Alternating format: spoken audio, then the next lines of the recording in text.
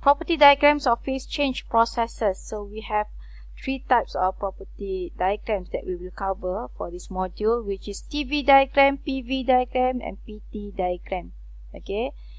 So the variations of properties during phase change processes are best studied using property diagrams for pure substances. Okay. So this is the examples of diagram of TV diagram. Okay, so this is a TV diagram of constant pressure phase change processes of water, pure substance at various pressure. This is coming from the book of Çengel, 6th edition.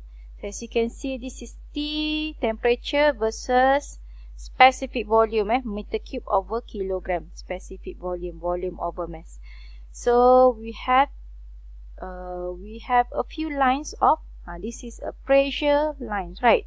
And pressure uh, pre different pressure lines okay you have uh, we have uh, uh, at the at, at the I mean at uh, below eh, from the uh, the below uh, we have lower pressure 0.01 megapascal and uh, when and from here from below to the top okay from below to the top.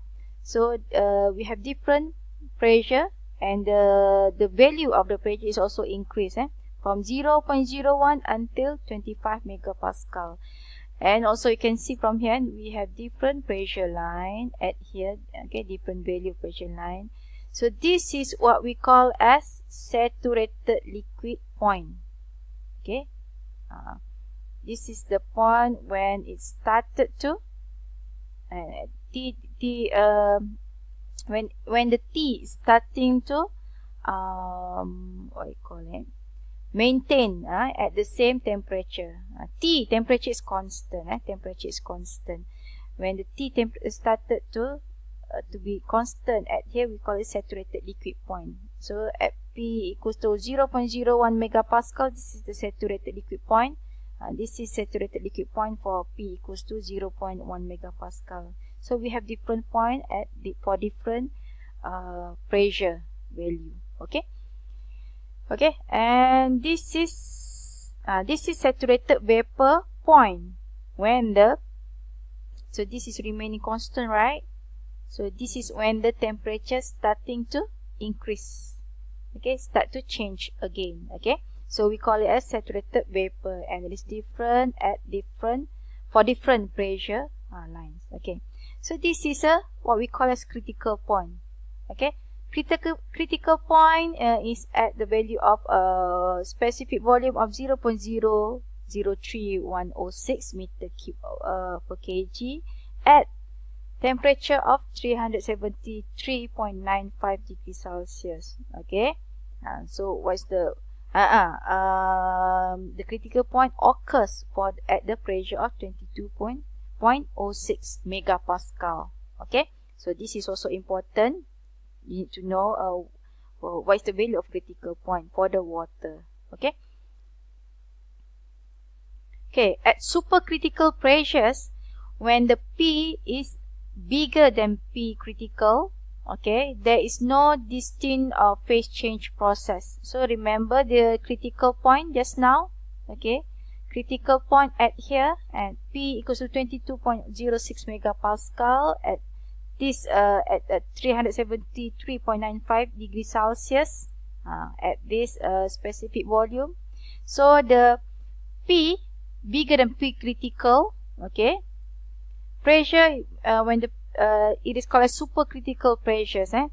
Uh, above more than peak uh, critical point at here so th this is 22.06 so for the bigger pressure than P critical, it is called a supercritical pressures. And there is no distinct phase change processes, no distinct phase change process. So it means we don't have exact uh, actual uh, saturated liquid line uh, and saturated liquid, uh, saturated vapor uh, point, eh?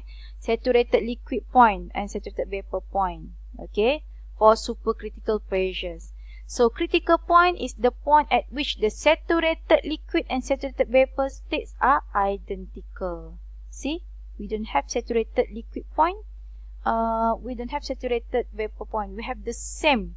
Okay, we have the same saturated liquid and saturated vapor point at here so this is what we call as critical point for this one we have no we have no uh, saturated liquid and saturated uh, vapor point for the pressure above the P critical at here okay? So this is also important. So this is a uh, just to show the region eh?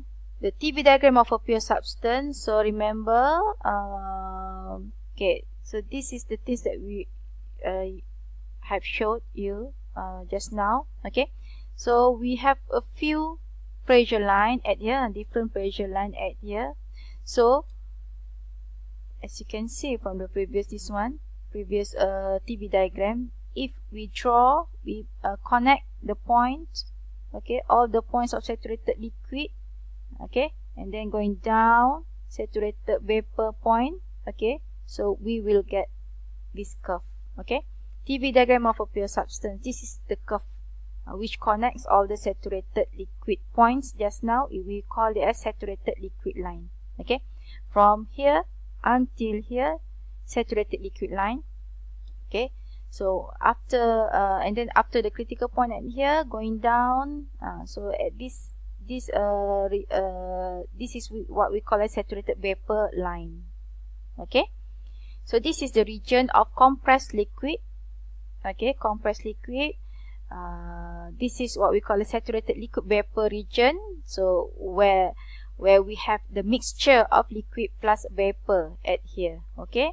Uh, below the curve okay? The region below the curve we call it saturated liquid vapor region. So this is the region of superheated vapor region okay? Outside of the curve on this side eh